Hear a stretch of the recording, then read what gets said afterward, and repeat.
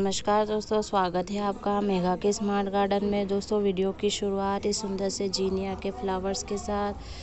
दोस्तों, बड़ा ही सुंदर कलर है और दो ही कलर मेरे इस पास है इसके। और दोस्तों, आज इतनी तेज़ धूप है कि मैं आपको क्या बताऊँ, ये देख सकते हैं। तो आज मैं अपने सभी प्लांट को नहला दूँगी, क्योंकि जिससे क्या होगा दोस्तों कि जो पत्तियों पर इन पे धूल वगैरह और फंगस और बहुत सी बार जाले वगैरह बन जाते हैं तो शावरिंग करने के बाद ये सारी चीज़ें ठीक हो जाती है और मिट्टी में भी फंगस नहीं लगता है, क्योंकि तेज़ धूप है दोस्तों। ऐसा लग रहा है जैसे गर्मी आ गई हो हमारे यहाँ और दोस्तों, शोरगुल हमारे आसपास होता ही रहेगा क्योंकि हमारे यहाँ मार्केट मार्केट में हमारा घर है, नीचे तो थोड़ी आवाज़ें आती रहेगी, इसके लिए मैं आपसे माफ़ी चाहती हूँ और दोस्तों, बहुत तेज़ गर्मी होने की वजह से थोड़े कुछ प्लांट, पतझड़ जैसा भी लग रहा है प्लांट के साथ, क्योंकि ये देखिए दोस्तों, इसकी पत्तियाँ पीली हो गई है तो अभी मैं इनमें सब में शावरिंग कर दूँगी और अच्छे से पानी इनको पिला दूँगी क्योंकि दो तीन दिन हो गए हैं मुझे इनमें पानी पिलाए। और दोस्तों, गर्मियों में थोड़े पत, पत्तियों को भी साफ़ कर देना चाहिए। अब आठ से दस दिन से धूप नहीं निकल रही थी तो पत्तियों पर बिल्कुल पानी नहीं जा रहा था, थोड़ी धूल हो गई है।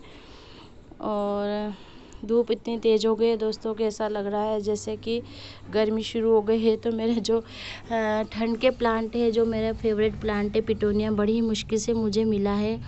तो उसमें फ्लावरिंग हो पाएगी कि नहीं, थोड़ी टेंशन हो रही है। क्योंकि अगर इतनी तेज़ धूप रही दोस्तों तो मेरे विंटर के प्लांट ख़राब होने का डर है।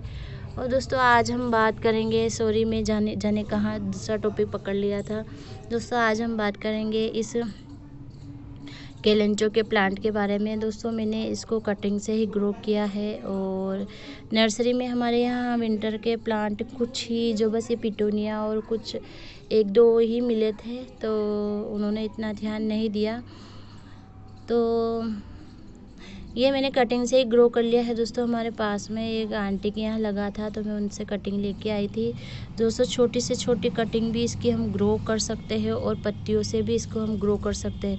आप देखेंगे, इसकी पत्तियाँ इतनी मोटी मोटी सी होती है और ये इनके जो डिज़ाइन बनी हुई है दोस्तों, यहाँ से इनके नए नए प्लांट तैयार हो जाते हैं। तो हम पत्तियों से भी इसको आसानी से ग्रो कर सकते हैं। मैंने पत्तियों से भी ग्रो करके देखा है दोस्तों, और पत्तियाँ भी अच्छे से ग्रो हो गई है, और मैं आपको पूरा अपडेट दूँगी अपने पूरी, सभी सभी प्लांट को आपको दिखाऊँगी कि इनमें जड़ें आई है कि नहीं आई है। पहले मैं इसके बारे में बात कर लूँ कि कौन सी मिट्टी इसमें मैंने ग्रो किया है। ये देखिए दोस्तों, बिल्कुल सादी सी मिट्टी है, जो गार्डन सॉइल हमारे पास होती है, उसी में इसको ग्रो किया है। ना इसमें ही मैंने बालू वगैरह में काय में भी कुछ भी मिक्स नहीं किया था, सिर्फ़ सादी सी मिट्टी है तो भी आसानी से ग्रो हो जाता है।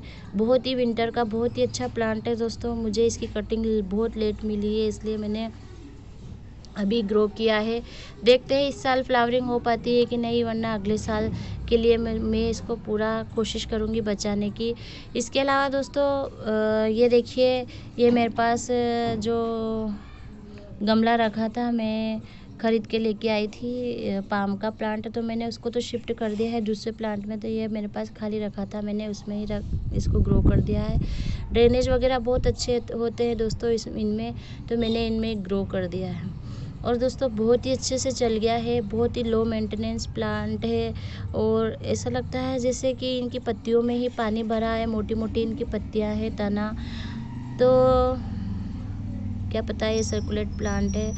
और इसके अलावा दोस्तों, बहुत ही कम पानी की इसकी ज़रूरत होती है, लेकिन इसकी मिट्टी मोइस्ट रखना बहुत ज़रूरी है, बिल्कुल सूखी मिट्टी ना रखें। ठंड में हम कम वाटरिंग करेंगे और कम बहुत ज़्यादा धूप में इसको नहीं रखना है। अभी जैसे धूप बढ़ गई है हमारे यहाँ तो मैंने इसको शेड में रख रखा है और अभी मैंने बड़े बड़े प्लांटर के नीचे रख रखा है इसको। जैसे यहाँ पर रखा हुआ है तो यहाँ पर देखिए बिल्कुल ज़्यादा धूप नहीं आ रही है। और तो शेमी शेड में रखिए और हम इसको सालों साल बचा कर रख सकते हैं और आसानी से ग्रो तो हो ही जाता है। इसके अलावा दोस्तों, इसकी एक खासियत है कि ये बहुत ही हेवी फ्लावरिंग करता है, बहुत ज़्यादा इसमें फ्लावरिंग आते हैं बंच में और कई कलर इसके आते हैं और ये एक ही कलर अभी फ़िलहाल मेरे पास है। और दोस्तों, मैंने इसको पत्तियों से भी ग्रो करने की कोशिश की है और बहुत ही अच्छा रिज़ल्ट मिला है। ये देख सकते हैं, पत्तियों से मैंने इसको ग्रो किया था। तो मैं इसका अपडेट भी आपको दे देती हूँ कि पत्तियों से। सॉरी ये पत्तियाँ तो मैंने शायद अभी ग्रो की है, ये देख सकते हैं आप। दोस्तों बार बार निकालने से रूट इनकी ख़राब हो जाती है और मैंने एक बार इनको चेक कर लिया था, इसलिए थोड़ा देख सकते हैं आप, इसमें रूट बन गई है। तो दोस्तों, पत्तियों से भी आसानी से ग्रो हो जाता है ये प्लांट और ये देखिए, थोड़ी गीली मिट्टी मैंने रखी है और शेड में, बिल्कुल शेड में इनको मैंने रखा है तो ये वहाँ पर यह ग्रो हो रहे हैं और ये इसकी कटिंग भी मैं निकाल कर दिखा देती हूँ। ये देखिए दोस्तों, इसकी कटिंग इसमें रूट बन गई है तो मतलब कि मेरी जो कटिंग लगाई थी वो सक्सेस हो गई है तो बहुत आसानी से ग्रो हो जाती है सादी से मिट्टी में लगाइए, कम वाटरिंग कीजिए, ज़्यादा धूप में मत रखिए और सभी प्लांट लगभग ऐसे ही ग्रो होते हैं, और ये दोस्तों, ये दिखाती हूँ मैं, ये देखिए, इसमें भी पत्ती में रूट बन गई है, ज़्यादा छेड़छाड़ हम नहीं करेंगे दोस्तों, क्योंकि जिससे कि रूट टूट जाए, और अभी जो इन्हें बनती है रूट वो बहुत ही नाजुक होती है तो हमें ज़्यादा छेड़छाड़ नहीं करनी चाहिए। मैं आपको निकाल कर दिखा रही हूँ, लेकिन आप बिल्कुल भी बार बार मत निकाल कर देखिए। ये देखिए दोस्तों, एक और कटिंग यहाँ पर लगी हुई है।